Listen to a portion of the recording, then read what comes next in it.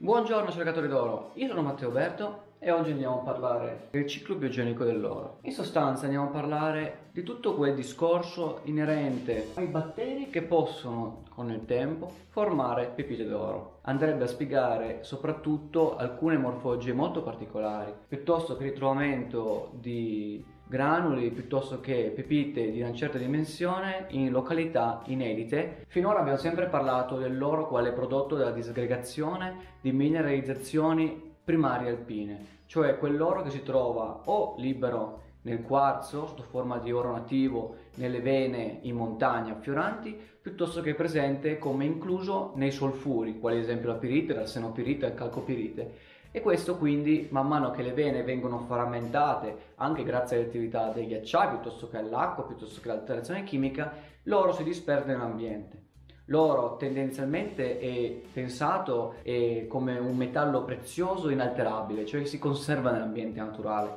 Andremo a vedere che forse non è proprio vero. Ecco, tutto questo discorso che anche nei video scorsi io vi ho comunque eh, sempre privilegiato, sempre evidenziato questo discorso di distribuzione, di diffusione dell'oro all'interno dei sedimenti a partire da vene primarie, il trasporto dalle vene rispetto alla pianura grazie ai ghiacciai piuttosto che ai fiumi, la riconcentrazione lungo i fiumi stessi grazie all'opera delle piene, ecco è vero, seppur comunque tiene conto solo della sfera litologica, non tiene conto della biosfera, cioè tutta quella sfera invece che raccoglie la vita. E la vita non siamo solo noi o gli animali o le piante, bensì ci sono anche dei microorganismi che non li vediamo a occhio nudo, ma bensì sono ovunque. Alcuni di questi sono stati scoperti essere importanti per il ciclo dell'oro. Ora, quando parliamo di ciclo biogenico dell'oro, di cosa parliamo? Parliamo principalmente di batteri, i quali sono semplicemente dei microorganismi unicellulari procarioti e hanno alcune caratteristiche morfologiche importanti. I batteri hanno diverse morfologie fondamentali possono essere sferici, come esempio di cocchi, piuttosto che bastoncellari, oppure possono essere tante altre morfologie. Principalmente quello che noi interessa non è tanto morfologia quanto l'attività metabolica. Cioè alcuni batteri sono importanti nei cicli di carbonio, di ossigeno, di idrogeno. L'ideo zolfo è molto importante per quanto riguarda la pirite sedimentaria, perché aprite, ricordatevi ferro zolfo. Ma quello che noi soprattutto importa è la riproduzione e la crescita. Ecco, dovete sapere che principalmente i batteri si riproducono per divisione di una cellula madre in due cellule figlie. Questo nel tempo ovviamente è esponenziale e questo ovviamente eh, nel tempo crea dei raggruppamenti molto caratteristici come potete vedere nell'immagine e quali possono essere delle catene, dei filamenti, dei grappoli. Ecco, quello che voglio mettere l'accento, questo processo di riproduzione ha una durata media che varia dai 20 ai 30 minuti, però ecco immaginate questo processo nell'arco di mesi, anni, piuttosto che decenni. Capite quanto questa colonia batterica potrebbe ingrandirsi. Logicamente ci sono momenti di riproduzione anche molto rapida e momenti in cui semplicemente eh, c'è una specie di stasi piuttosto che un decremento numerico grazie a delle condizioni esterne sfavorevoli, quindi comunque un saliscendi. Parliamo delle comunità batteriche. Gli organismi diventano delle vere e proprie comunità che gli uni e gli altri tendono ad aiutarsi a vicenda per ottenere una migliore potenzialità di riproduzione. Potete vedere che semplicemente si passa da una fase iniziale in cui singole cellule batteriche aderiscono alla superficie, queste si riproducono e si aggregano tra di loro. Iniziano a secernere queste sostanze esopolisaccharidiche che semplicemente ne permettono l'accrescimento e aiutano l'adesione alla superficie. A un certo punto il biofilm è maturo e di conseguenza alcune cellule iniziano a essere sparse nell'ambiente circostante, queste andranno di nuovo ad aderire ad altre superfici più o meno lontane su base anche di fluidi decenti e di conseguenza avremo un'espansione nello spazio di queste comunità batteriche molto specializzate. Questo può avvenire anche al di sopra dei granuli d'oro in questi casi, logicamente in questi granuli campionati, è ricchissimo di flora batterica. Tutti questi filamenti, tutti questi microorganismi che vedete, sono pro- proprio parte dei biofilm che abbiamo appena parlato. I batteri potrebbero far precipitare altro oro, quindi ingrandendo da un granulo, formando fino a una pepita, ma potrebbero anche semplicemente di scioglierlo nell'ambiente, di conseguenza la vostra palizza sparirebbe nel tempo. È un ciclo. Questo qua invece è un focus sui confini del granulo il granulo è stato sezionato, vedete che c'è una sorta di accrescimento con una morfologia algare fatta a livelli che si espande verso l'esterno. Via via queste depressioni saranno poi gli ambienti più favorevoli per accogliere nuovi biofilm e di conseguenza andranno a sparire fino a che si produrranno altre protuberanze. La protuberanza, quella attuale, tenderà a essere la futura depressione e con il tempo questo procedimento avrà questo risultato e di conseguenza capite che il granulo tende a aumentare di dimensione. Questo oro che si è depositato grazie all'intervento batterico è molto più puro perché tendenzialmente è solo oro. Ricapitolando quello che finora ho detto, quindi in ordine temporale, abbiamo una superficie che può essere il nostro granulo d'oro che viene semplicemente diventa sede dell'attività di batteri, i quali sono sessili, cioè aderiscono alla superficie. Ovviamente questi si espandono anche in specie, perché questi collaborano gli uni rispetto agli altri, formando una sorta di comunità.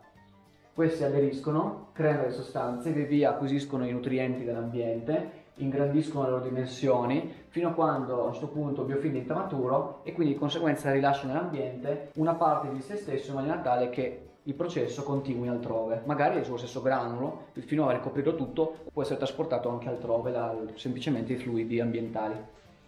Tutti questi nomi che vedete, Rhodobacter, Achinobacter, Dianophobacter, semplicemente questi batteri sono specializzati nelle condizioni superficiali. In questo caso questi batteri sono invece molto abili nella fissazione del carbonio, dell'idrogeno e i vari processi di nitrificazione e denitrificazione, quindi nel ciclo dell'azoto. Qua c'è un turnover metabolico dei complessi organici. Tenete conto che l'oro può anche essere legato a dei complessi organici e di conseguenza in questo turnover può a un certo punto trovarsi eh, in situazioni di precipitare. Quindi già qua vediamo che può esserci un aumento dell'oro sulla superficie del granulo stesso. In questa colonna c'è veramente il ciclo dell'oro cioè ci sono dei batteri da questi che riescono a solubilizzare l'oro, tendenzialmente non è mai uno ione libero, piuttosto è legato a dei comple- complessi organici piuttosto che tiocomplessi.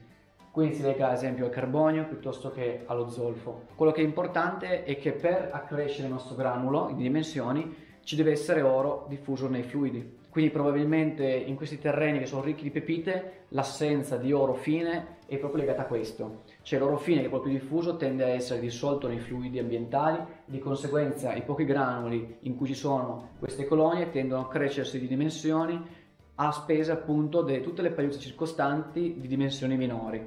Di conseguenza avremo col passare del tempo un terreno povero in individui, ma questi individui composti da oro sono di maggiori dimensioni e spiegherebbe molto bene proprio perché nei terreni, specialmente alcuni australiani, sono solo pepite e non c'è più oro fine. I risultati quali sono? Sono che tendenzialmente avremo, come in questo caso, sì dell'oro fine, ma soprattutto vedremo anche che c'è un oro grossolano particolare, specialmente povero di quarzo, se non praticamente con quarzo assente capite che dall'avere un terreno ricco in oro fine senza praticamente intervento batterico a un terreno che praticamente è solo composto da pepite d'oro senza più oro fine ci sono anche dei casi intermedi. Tendenzialmente sono la maggior parte dei casi come in questo esempio. E soprattutto presenteranno le depressioni degli ossidi idrossidi di manganese i quali sono stati provati essere molto importanti per accelerare il processo.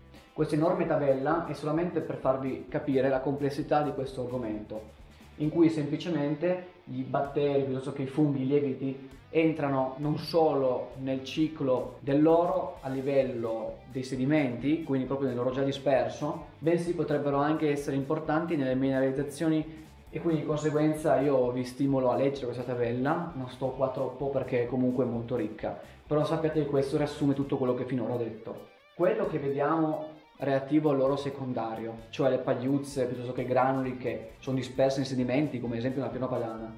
Può essere anche ricondotto alla formazione delle vene, come nel nostro caso le vene alpine, quindi giacimenti primari, perché è stato scoperto che questi organismi, alcuni di essi, possono resistere a temperature molto alte, soprattutto intorno anche già ai 300-400 gradi centigradi e anche a pressioni importanti e di conseguenza ci sono molte mineralizzazioni che si sono formate proprio a quelle temperature secondo gli esperimenti condotti in laboratorio. Quindi arriviamo a parlare di modello biotico, modello biotico. Allora, finora io quello che ho voluto andarvi a spiegare è il modello biotico, cioè il modello secondo il quale le colonie batteriche, soprattutto nella forma di biofilm, sono determinanti per la formazione delle pepite, piuttosto che semplicemente per il ciclo biogenico dell'oro.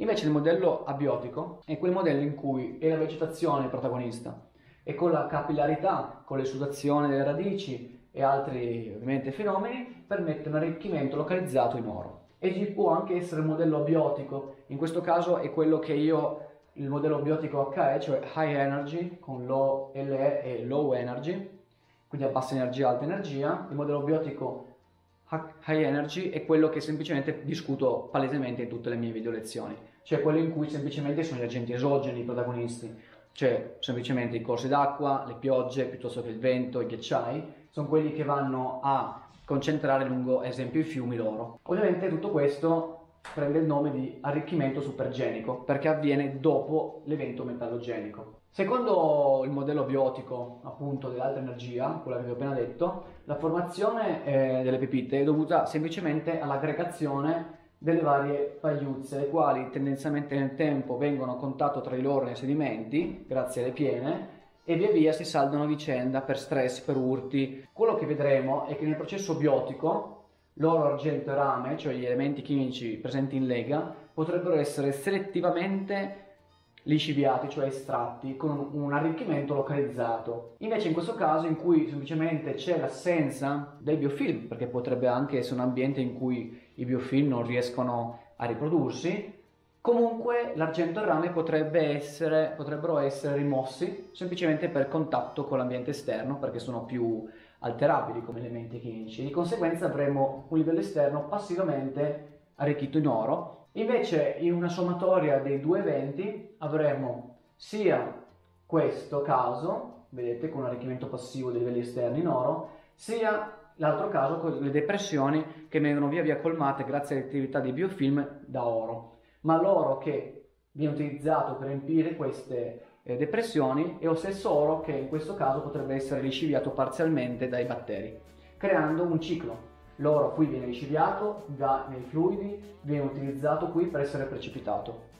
E di conseguenza se non ci fosse quest'oro che viene lisciviato, non ci sarebbe neanche quest'oro che verrebbe precipitato. Con il tempo questo granulo, questa pagliuzza diminuirebbe fino a scomparire, e nel tempo questo granulo, questa pagliuzza si ingantirebbe fino a diventare una pepita.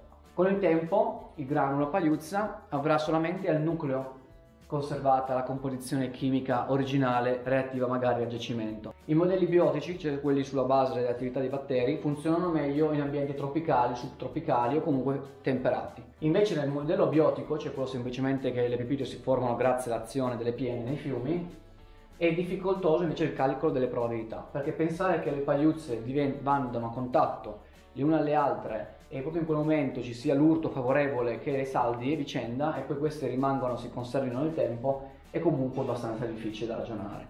Però questo è il caso invece di placer costieri, dove l'attività delle onde continua a mettere in moto continuamente i granuli e le pagliuzze e di conseguenza è più probabile che vengano in contatto l'une alle altre. L'affioramento di vene aurifere permette nel tempo di produrre un terreno sovrastante che viene chiamato suolo e soprattutto il suolo viene suddiviso in diversi orizzonti. Dovete sapere che dall'affioramento nella direzione aurifera c'è una dispersione dell'ambiente di oro. Per esempio la stessa pianta potrebbe nella sua richiesta di fluidi potrebbe andare ad arricchirsi la sua chioma piuttosto che il suo fusto, piuttosto che le sue radici in nanoparticelle d'oro. Questo avverrebbe solamente se ci fosse l'oro a livello ambientale e di conseguenza disperso nei fluidi. Ecco proprio l'intervento batterico potrebbe fare da tramite in questo fenomeno. La presenza di sostanze organiche rende molto suscettibile a loro in nanofasi solide di nuovo di passare in soluzione e di conseguenza di infiltrarsi all'interno del suolo. E di conseguenza anche in questo caso vedete che c'è una sorta di ciclo. La presenza localizzata di comunità batteriche e l'arrivo in queste località di oro in soluzione ne permetterebbe l'accrescimento di pepite localizzate, in questo caso nelle porzioni rosse. Nelle porzioni gialle invece vi sono delle comunità batteriche che non riescono a sopportare la presenza di oro, in quanto lo vedono come un composto tossico, lo mettono in soluzione. Altre colonie batteriche invece non sopportano la presenza di oro a livello ambientale e di conseguenza lo precipitano. In entrambi i casi cosa avremo? Nelle porzioni gialle una assenza generale di oro, nelle porzioni rosse un arricchimento supergenico importante di oro. E risalendo il versante, quest'albero ha delle tracce, ma a questo punto quest'albero non ha più tracce e da nessun, nessun albero più tracce. Vorrebbe dire che la mineralizzazione è circa in questa posizione. Ora, principalmente la prospezione fluviale è importante per ritrovare giacimenti importanti di oro a monte. In questo caso è stata condotta partendo da valle verso monte. Le varie sezioni di campionamento, tendenzialmente poste subito dopo le curve oppure alla confluenza degli affluenti, hanno fornito dei risultati, i quali tematicamente, secondo il cerchio, tanto che si aumenta, tanto che aumenta anche, cambia il colore, dà la quantità di oro ritrovato. Una modalità di analisi dei sedimenti pesanti convenzionale, che non va a utilizzare la presenza dei batteri come sorta di marcatori del terreno per la presenza di mineralizzazione. Invece, in altri casi, è possibile andare a campionare il suolo del versante, soprattutto nel caso precedente in cui siamo nei pressi del massiccio, si denota un suolo con un colore particolare, si va a campionare, si analizza in laboratorio, si fa la geochimica dei suoli e si va quindi a vedere l'anomalia nei pressi appunto dell'affioramento del giacimento minerale. Non si utilizzano i batteri, ma già stiamo ravvicinati perché dal momento in cui andiamo a analizzare il contenuto chimico di questo suolo è facilmente anche ipotizzabile l'analisi delle colonie batteriche. Potremmo andare a analizzare le acque, possiamo andare a analizzare le rocce fioranti, possiamo andare a analizzare la chioma della gelazione,